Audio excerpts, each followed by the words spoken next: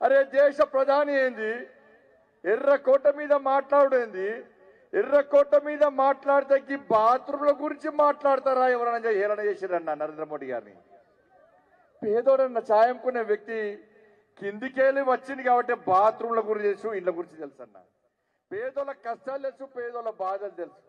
అందుకే ఇవాళ ఈ దేశంలో పది పన్నెండు కోట్ల మందికి టాయ్ స్వచ్ఛ భారత్ మిషన్ పేరు మీద టాయిలెట్స్ నిర్మించిన మహానుభావుడు నరేంద్ర మోడీ అన్న టాయిలెట్స్ కట్టించిరన్న ఇంటికి రాగానే ఇంటికి రాగానే పొయ్యి ముట్టియాలి ఉదయం లేస్తే టాయిలెట్స్ కట్టించిండు బయటికి పోవాలంటే ఇంటికి రాగానే స్టవ్ ముట్టియాలి మన అమ్మలక్కలందరూ కూడా పొయ్యిల కట్ట పెడుతురన్న బజ్జల కట్ట పెట్టి పొయ్యి ఉణకతోనో తావు చేస్తుంటే ఆ పొయ్యి ఉలిపోతున్న కట్టలు పెట్టి ఇలా వంట చేయాలంటే ఆ పొగ వస్తుందని ఆ పొగ సిగరెట్ కావాల్సిన కంటే డేంజర్ అన్న అసలు ఆ పొగ.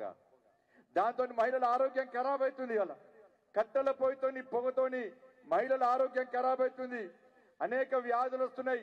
అనేక రోగాలతో తల్లడిల్లుతున్న అక్క చెల్లెలు అని చెప్పి ఈ దేశంలో పది కోట్ల మందికి ఉచితంగా గ్యాస్ కనెక్షన్ అందించినటువంటి మహానుభావుడు నరేంద్ర మోడీ అన్న. ఇలా గ్యాస్ మీద వంట వేయాలన్నా ఏం వంట వేయాలి పేదోళ్ళు ఏం చేస్తారన్నా? ఇవాళ తినడానికి తిండి ఉండాలి.